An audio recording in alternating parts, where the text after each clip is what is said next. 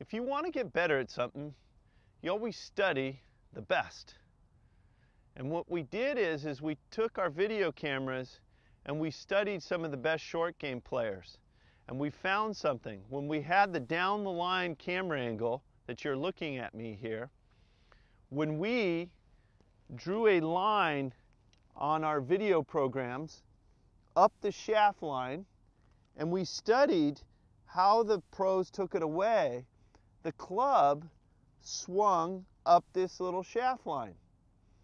This would be outside and this would be inside. And so it was a common discovery that we found that they took it away at a certain direction. And then if I'm taking it away a certain direction, that's going to give me a specific attack angle. Well, that attack angle helps us use the bounce and helps us brush the ground a little bit better because we don't want to be taking divots here in our short game. So if we think about what we discovered, there's a way to practice that. And I'm going to show that to you.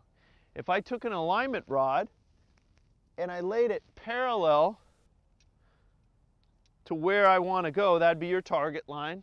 This is parallel.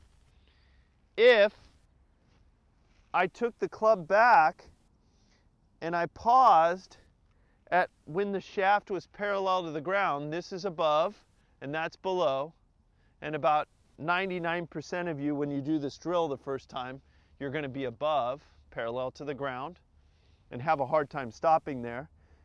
You're going to basically just take it away hundreds of times, just trying to master this direction that you take it back. And so when you do that, you're going to take it back there and then eventually kind of pause, and then eventually it'll come into one constant motion. And then what you're going to do is what we call blocked practice. You're going to work on your technique. You're not going to be going to different targets. That's random practice. We're going to hit it with a specific length backswing to try to master this plane or this path that the pros are taking it back on. You're going to try to get that parallel to the ground and parallel to your target line. Now, that shot didn't go to a specific target. I don't want it to go to a target. I'm just working on whether or not I can take it back on plane. Give it a couple practice swings. Pause on one. Constant motion on one.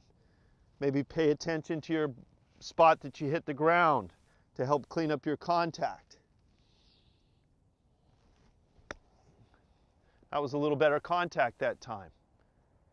So I'm specifically working on the plane and the takeaway. If you do that, that's going to give you that sound where you get under the ball and you hit the ball on the sweet spot. That's what gives you predictability so that you can now start hitting it close to the hole. So work on your plane to get better in your short game.